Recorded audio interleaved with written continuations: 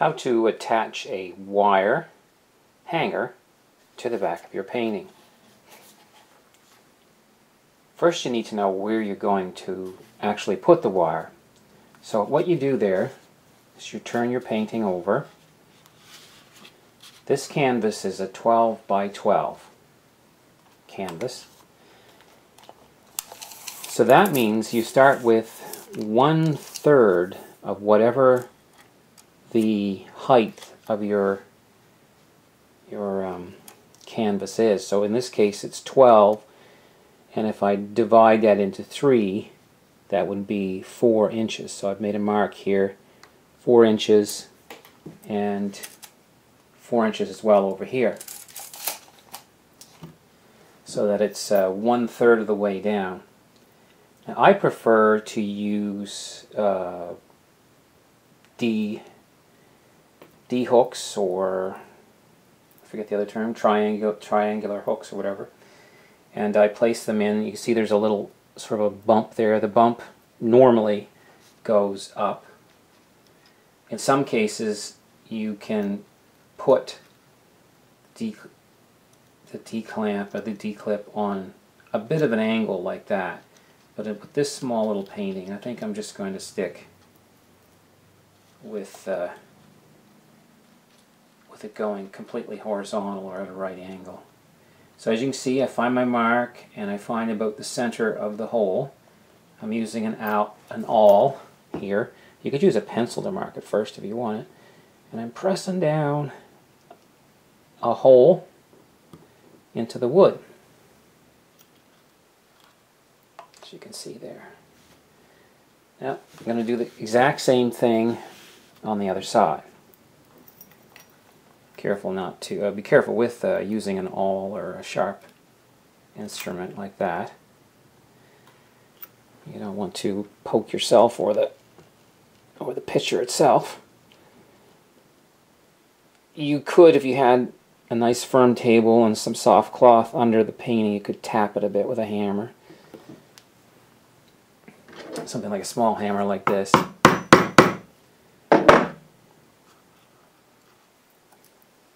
And also, if you do get, this here looks like a bit of a knot in the wood here. So this wood might be a little tough for a screw.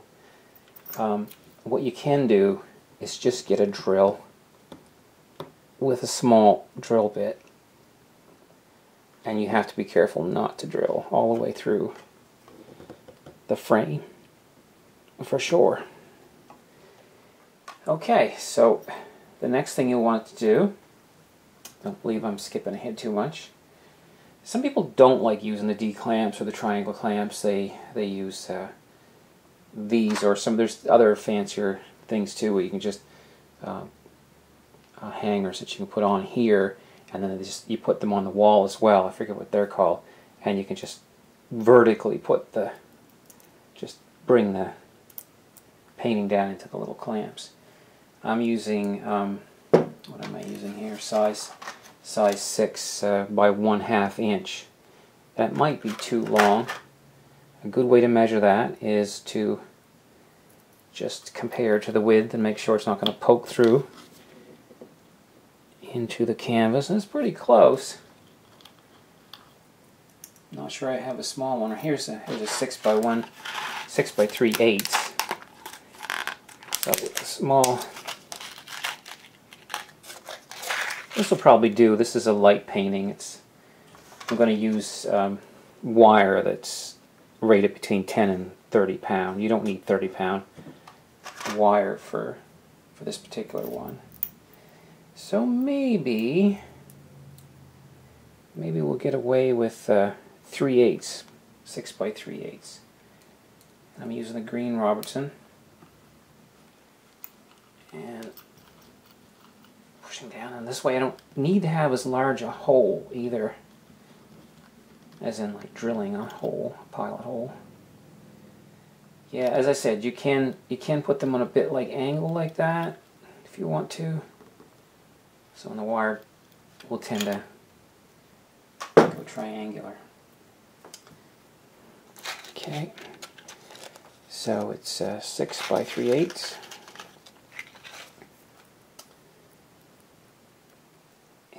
Get this one going here. Probably pause the camera for a second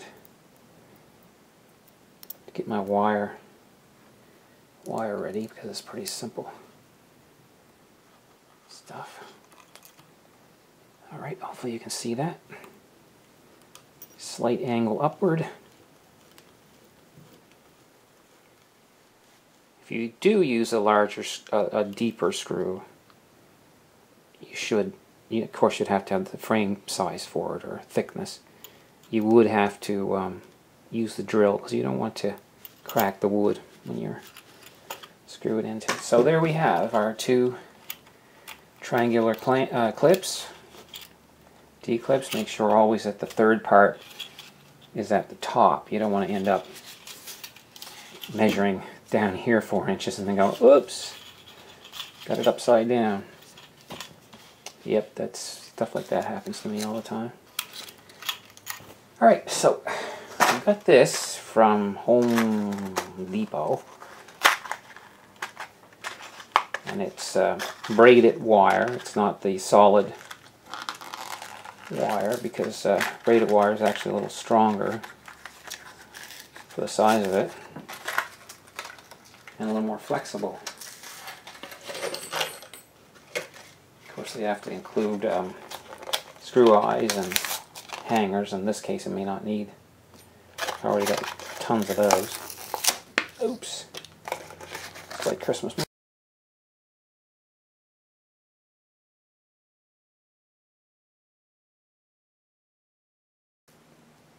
Yeah, that's perfect. Okay, gonna show you, show you a close-up here in a second.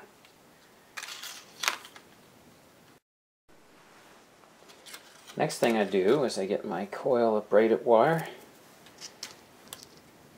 I like to, you don't have to do it this way, but I like to put it through this one first, and I know I'm going to tie it off on this one. Alright. Get the hook here. Alright, you put it through the hook, like that. And, oh, that's probably enough. Maybe too much.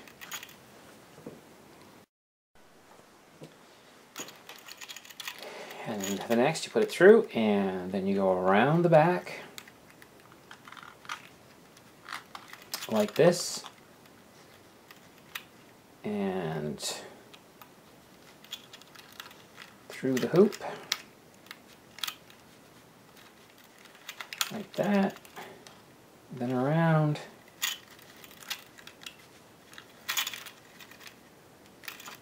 But not through this on the next time and you uh, just spin it around like this. Nice and tight.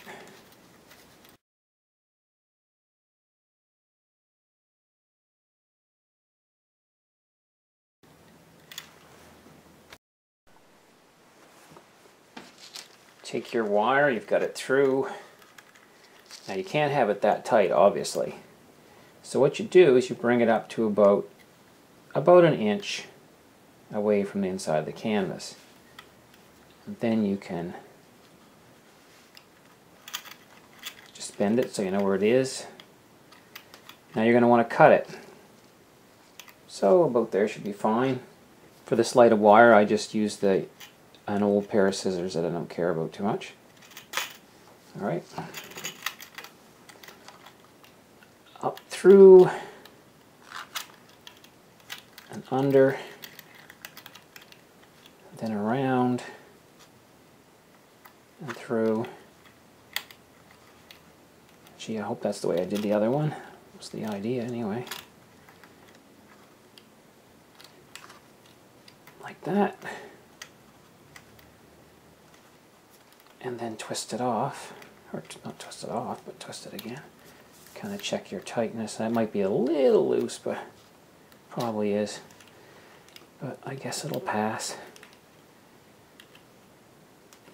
I think I'm not being as fussy with because of the saving, just to save, um,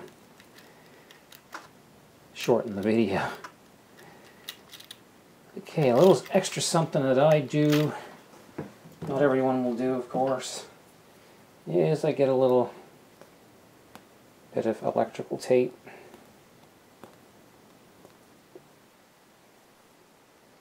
Let's see here.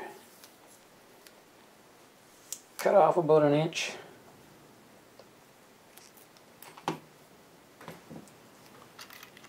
Going this a little bit like this, and this is just to me kind of keeps the pokey parts of the wire off of people's you know fingers and kind of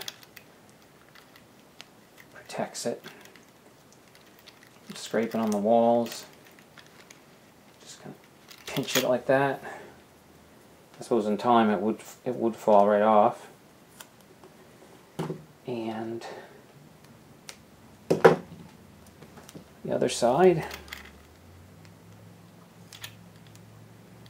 I got it leaning forward a little bit so as it turns it'll go it'll go ahead from left to right on this. A little bit more on this one than the other one. Just a coincidence. Okay, that's what I do. Um, sometimes I write my name and the name of the painting here. For all I know, these people might actually get that is a little looser than I thought it would be, but um, you can put little foot pads on here too if you want to. That will bring uh, here in each corner little rubber pads, especially for larger paintings because the moisture from the room will get up and behind the painting over time. So that is, I believe, about it. And if you have any questions, just let me know. Thanks for watching.